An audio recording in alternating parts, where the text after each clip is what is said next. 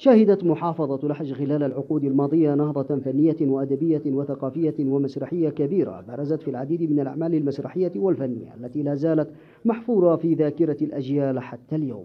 خلال الفترة القليلة الماضية شهدت هذه النهضة الفنية ركودا كبيرا دفع عددا من الشباب الموهوبين للعمل في المجال المسرحي كمحاولة لاستعادة المجد الفني الذي شارف على الاندثار.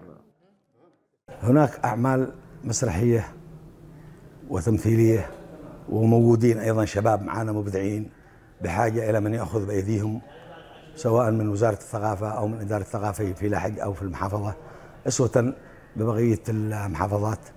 ولديهم أعمال لن ترى النور إلى الآن وموجودة وبحاجة إلى الدعم والمساندة والوقوف معهم حتى ننهض بحركتنا المسرحية زي ما كانت في السابق. في هناك كثير من الشباب أصدقائي وكثير من شباب صحاب مدينة الحوطة موهوبين في مجال التمثيل يعني رهيبين رهيبين.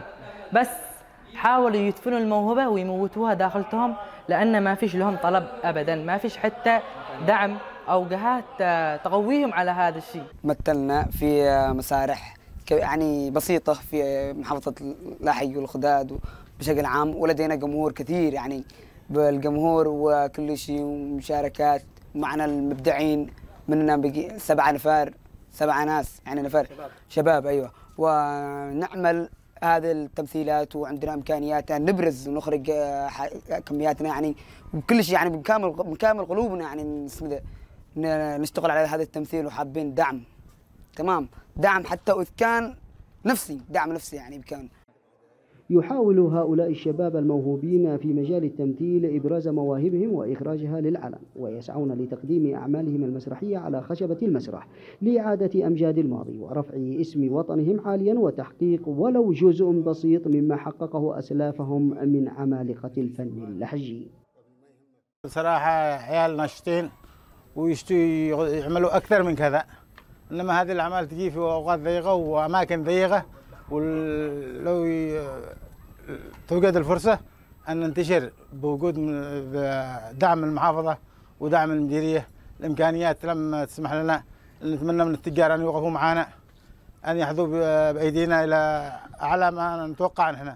نحن رايحين بس باقي شباب معنا ما شاء الله صاعدين وهم نقوم إيش لك؟ ما أقدر أوصف لك فيهم يمكن يقصر في حقهم. آه نتمنى من الله أن يكونوا مثل ما قد سبقوا. أنا كموهوب في في مجال التمثيل ومجال التمثيل والمسرح في مدينة الحوطة يعاني من الإهمال شديد في هذه الأيام. يعني صبحنا نحن المواهب مدفونة يعني ما حد يقدر يخرجها. صبحت المواهب عديدة والمادة ومصدر الدخل مش موجود.